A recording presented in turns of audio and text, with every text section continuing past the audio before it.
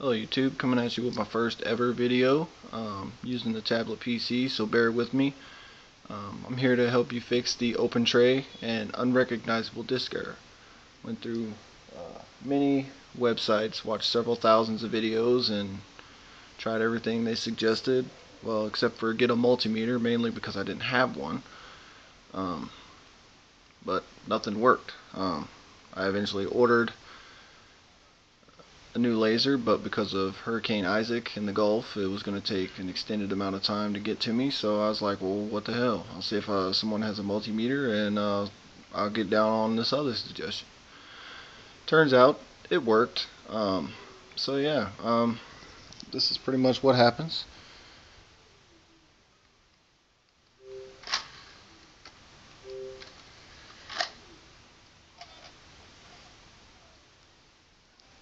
Open tray. Or it'll read for a little bit and then say unrecognizable disk. Now, there's plenty of uh, videos, like everyone says, on how to take your Xbox 360 apart. Um, but a suggestion I have is when you're doing this, take this off. There's a little flex cable that connects to right here. And when I was working on it, it broke off. So now I can't open it by touching this or turn it on without buying a new one. They cost like seven, eight dollars if you break one on eBay. Okay. Anyways, let's get to it. Um, get your magnet off, get your game out of there. What it is is this laser is not focusing on the game. It's become thrown off over time, or maybe it got dropped and it got whatever. I mean, if this doesn't work, then you probably need to just buy a new laser. Um, don't work on it when the Xbox is on. I had a little scare. I unplugged the cables back here, and when I was going to put my drive back up here, I bumped one against this metal frame that it sits in. big spark, and then the, everything went off, and my power block had a had a red light on it. Scared the hell out of me. I unplugged it, waited till the red light went off, plugged it back in, hooked it back up, everything's good.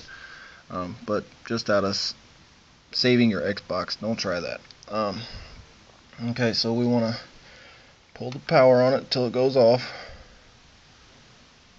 And we're going to unhook, pick it up, unhook these cables in the back.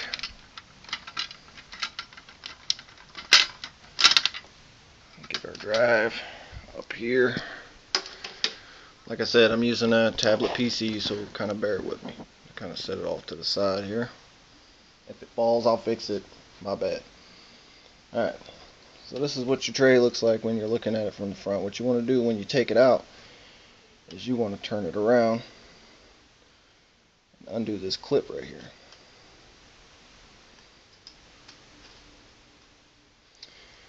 Um, yeah, another thing you might want to check out is uh, these bars right here. Sometimes the gaps, if you look at the gaps, they'll be uneven.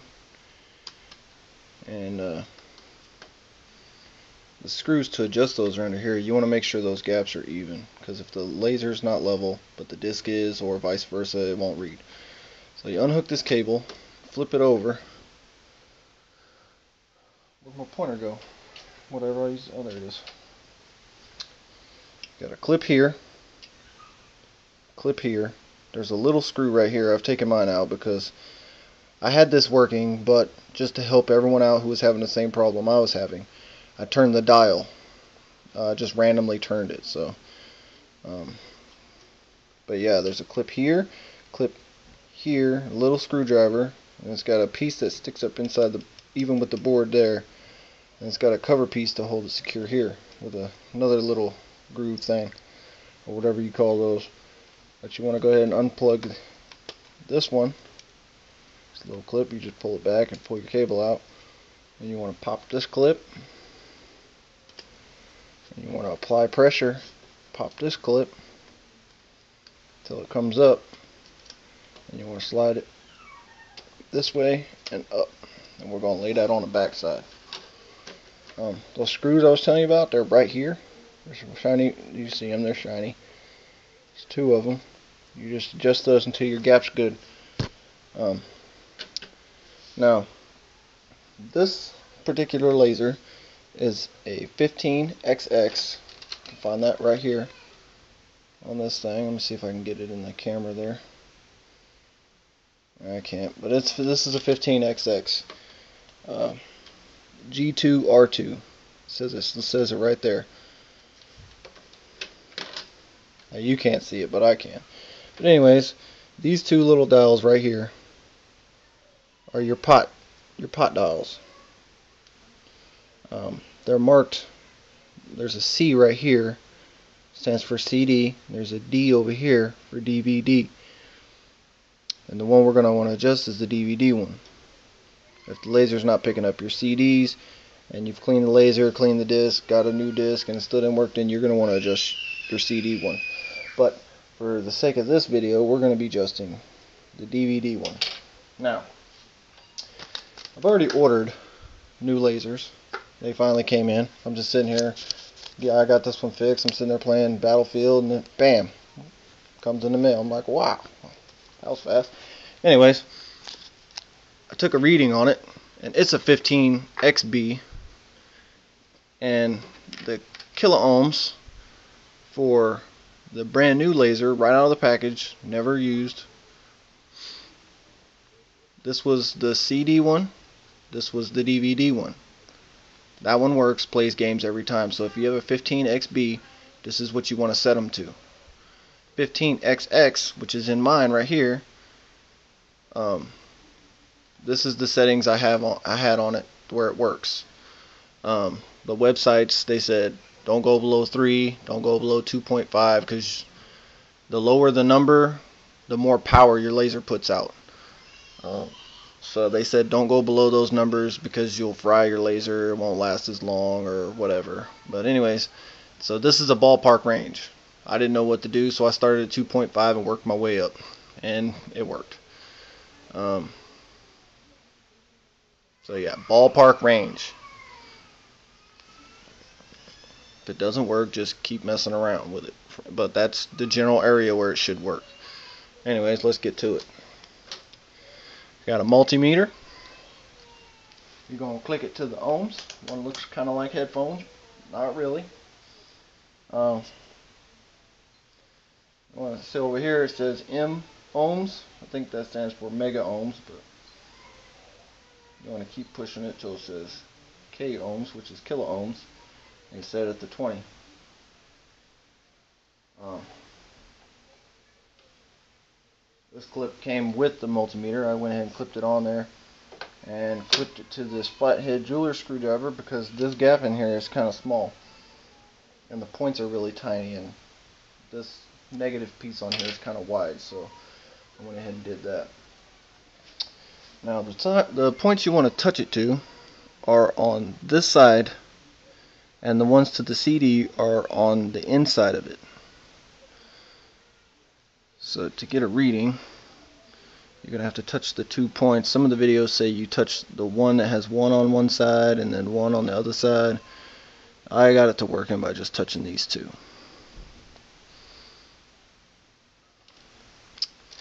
See if I can stay out of the way of the multimeter over there so you can you can see what the hell I'm doing here. Just touch it.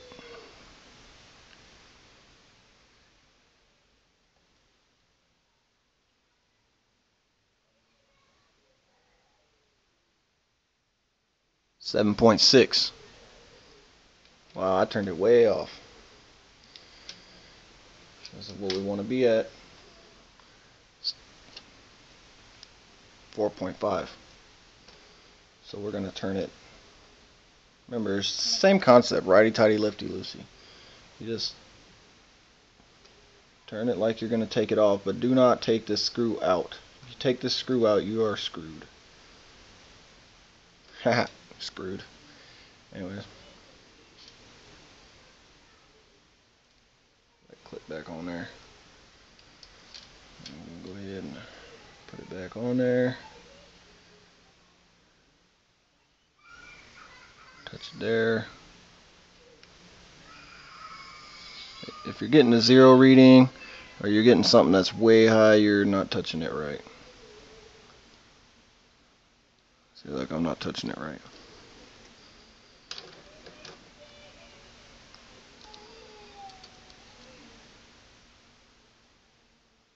Three point five went too far. Turn it a just a tiny bit. See, that was 3.5. You saw how much I turned it. Watch this. Well, 3.9. Some of those videos are like, turn it a quarter turn. I was, I tried that without a multimeter and it's screwed it all up. See, 4.5. We'll go ahead and check on this one. Make sure it's still right. 3.9, good enough. Alright. Well, that's the 15XX laser. We're gonna put this bad boy back in, same way you took it out. You're gonna slide it onto slide it onto this groove right here and up underneath this clip. You're gonna kinda push it back towards you so you're pushing this clip backwards so you can get it down on that stud right there or whatever it's called and then on your front clip you're to hold this one forward. Put your piece back in there. You got to be careful with these ribbon cables because uh, notice they're soldered. So well I mean this one comes with that whole piece. This one goes to the motor. And then this one is for the laser. But I wouldn't want to have to replace them or buy another part. And this one's the most, the one I'm having, always have difficulty with. Because you can't really see, but you got to go up and underneath there and get it in there. So what I do is I kind of make sure the clip's out. Hold this piece with my two fingers. Kind of like make this push it upwards where it kind of points up. Make sure it's seated in there and then push it. It's okay if you can see the white, that's fine. I'll make sure it's seated just a little bit back, but not over this board. See, there's an edge of the board right there. You don't want it to go over the edge of that board. Because when it opens up, it's going to get stuck. So about like that. That'd be good. Alright, so let's try this puppy out.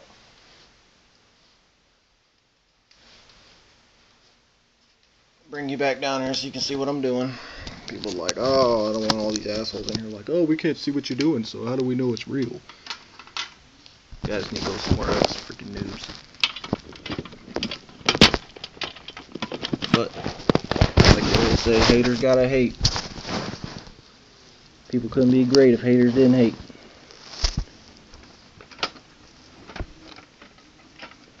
Plug the white cord in. SATA cable in. That puppy down. Got your magnet. Got your game. Alright. Push the power in. Turn the controller on.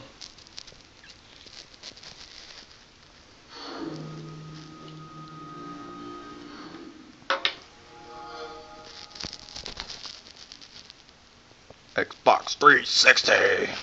Oh, sorry about the TV. I had to come in the bedroom. This is the bedroom TV. Kids were being loud out there. There was no way I was going to make a video. So, open the tray. Make sure the game's nice and clean. I like to set the magnet on there, way I don't have to deal with it. Shut the tray. Still makes that weird sound, but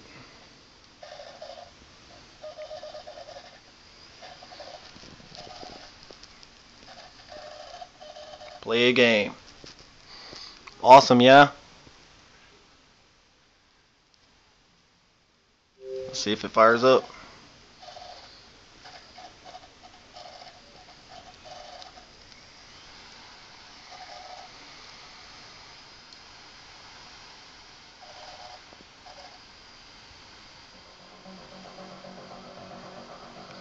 And there you go. There you have it. I hope you guys get your uh, stuff fixed. Uh, like I said, just don't go below 2.5. That's what I was reading on the forums, so you don't want to fry your laser and have to buy a new one.